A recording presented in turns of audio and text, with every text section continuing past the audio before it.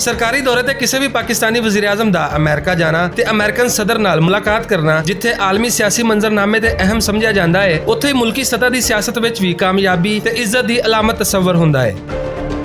ਅਮਰੀਕੀ ਸਦਰ ਵੱਲੋਂ ਵਜ਼ੀਰ ਅਜ਼ਮ ਪਾਕਿਸਤਾਨ ਨੂੰ ਲਿਖੇ ਗਏ ਖੱਤ ਤੇ ਹਾਲੀਆ ਅਫਗਾਨ ਅਮਲ ਮਜ਼ਾਕਰਾਤ ਵਿੱਚ ਪਾਕਿਸਤਾਨ ਦੇ ਭਰਵੇਂ ਕਿਰਦਾਰ ਤੋਂ ਬਾਅਦ ਇੱਕ ਖਬਰ ਸਾਹਮਣੇ ਆਈ ਕਿ ਵਜ਼ੀਰ ਅਜ਼ਮ ਪਾਕਿਸਤਾਨ ਇਮਰਾਨ ਖਾਨ 20 ਜੁਲਾਈ ਨੂੰ ਅਮਰੀਕਾ ਜਾ ਰਹੇ ਨੇ, ਜਿੱਥੇ ਉਹਨਾਂ ਦੀ ਮੁਲਾਕਾਤ ਅਮਰੀਕਨ ਪ੍ਰੈਜ਼ੀਡੈਂਟ ਨਾਲ ਵੀ ਹੋਵੇਗੀ। ਸਾਫੀਆਂ ਨੇ ਅਮਰੀਕਨ ਵਜ਼ਾਰਤ ਖਾਰਜਾ ਦੀ ਤਰਜਮਾਨ ਕੋਲੋਂ ਇਸ ਖਬਰ ਦੀ ਤਫਸੀਲ ਮੰਗੀ ਤੇ ਉਹਨਾਂ ਨੇ ਜਵਾਬ ਦਿੱਤਾ ਕਿ ਅਜੇ ਤੱਕ ਸਾਡੇ ਕੋਲ ਇਸ ਦੌਰੇ ਦੀ ਕੋਈ ਤਫਸੀਲ ਨਹੀਂ ਆਈ। ਅਮਰੀਕਨ ਵਜ਼ਾਰਤ ਖਾਰਜਾ ਦੇ ਇਸ ਜਵਾਬ ਤੋਂ ਬਾਅਦ ਪਾਕਿਸਤਾਨ ਵਿੱਚ ਆਪੋਜੀਸ਼ਨ ਲੀਡਰਸ ਨੂੰ ਗੱਲਾਂ ਕਰਨ ਦਾ ਪੂਰਾ ਮੌਕਾ ਮਿਲਿਆ। ਮਰੀਮ ਔਰੰਗਜ਼ੇਬ ਦਾ ਆਖਣਾ ਹੈ ਕਿ ਇਮਰਾਨ ਖਾਨ ਹੋਰਾਂ ਨੂੰ ਗੈਰ ਮੁਲਕੀ ਦੌਰੇ ਵਾਸਤੇ ਵੀ ਭੀਖ ਮੰਗਣੀ ਪਵੇਗੀ। ਹਾਲਾਂਕਿ ਆਪੋਜੀਸ਼ਨ ਵੀ ਜਾਣਦੀ ਹੈ ਕਿ ਇਹ ਦੌਰਾ ਜ਼ਰੂਰ ਹੋਵੇਗਾ, ਪਰ ਸਿਆਸਤ ਤੇ ਸਿਆਸਤ ਹੈ। ਸਿਆਸਤਦਾਨ ਆਪਣੇ ਮੁਖਾਲਫੀਨ ਨੂੰ ਲਤਾੜਨ ਦਾ ਕੋਈ ਮੌਕਾ ਹੱਥੋਂ ਜਾਣ ਨਹੀਂ ਦਿੰਦੇ। ਦੂਜੇ ਪਾਸੇ ਪਾਕਿਸਤਾਨੀ ਦਫ਼ਤਰ ਖਾਰਜਾ ਦੇ ਤਰਜਮਾਨ ਦਾ ਆਖਣਾ ਹੈ ਕਿ ਵਜ਼ੀਰ ਆਜ਼ਮ ਪਾਕਿਸਤਾਨ ਇਮਰਾਨ ਖਾਨ ਹੋਰਾਂ ਦੇ ਦੌਰਾ ਅਮਰੀਕਾ ਦੇ ਹਵਾਲੇ ਨਾਲ, ਉਹ ਅਮਰੀਕੀ ਹੁਕਾਮ ਨਾਲ ਮੁਸਲਸਲ ਰਾਬਤੇ ਵਿੱਚ ਨੇ ਤੇ ਇਸ ਦੌਰੇ ਦਾ ਬਾਜ਼ਾਬਤਾ ਐਲਾਨ ਮੁਨਾਸਬ ਟਾਈਮ ਤੇ ਕੀਤਾ ਜਾਏਗਾ।